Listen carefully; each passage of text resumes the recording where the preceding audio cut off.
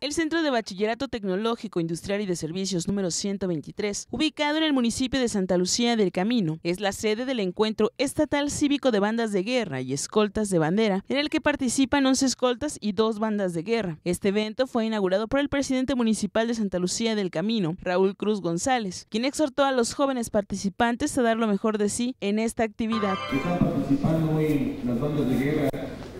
y escoltas que lo que realicen, lo realicen con pasión y con coraje, que entreguen todo de sí y que sean buenos ciudadanos,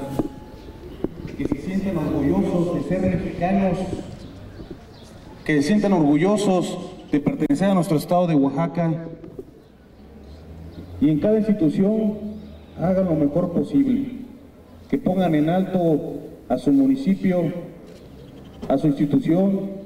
a su Estado y a su país.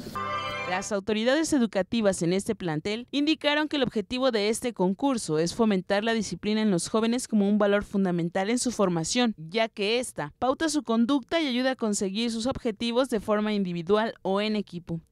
Con imágenes de Pablo Enrique Cruz, informó para MBM Televisión Karime Cruz.